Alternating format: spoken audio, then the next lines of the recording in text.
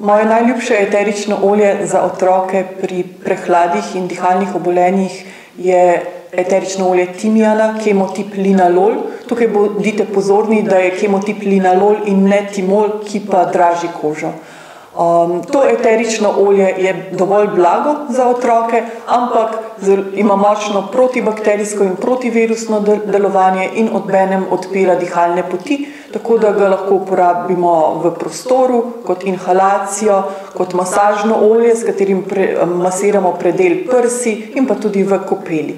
Za pomiritev otrok lahko uporabite eterična olja benzoina, mandarine, sivke, rimske, nemške kamilice.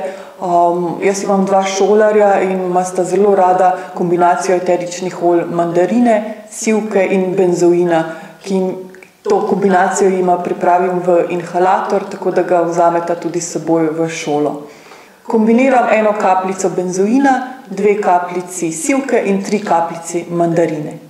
Pri nespečnosti je najbolj popularno seveda eterično olje prave sivke, pri tem bodite pozorni, da imate res sivko lavandula angustifolia in ne lavandina, ki vas bo prej zbudil in stimuliral. Uh, tako da eterično olje sivke, nerolija, um, tudi mandarina se priporoča. Ta eterična olja lahko kapnete na vatko in daste zraven um, blazine ali pa tudi v difuzor v prostoru.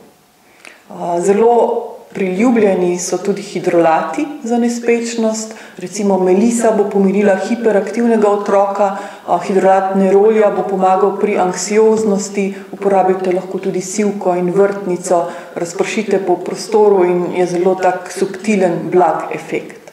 Če želite eterična olja uporabiti v prostoru, uporabite izparilnik, um, v vodo nakapate ena do največ tri kapljice eteričnega olja, spet bo odvisno od starosti in seveda velikosti prostora.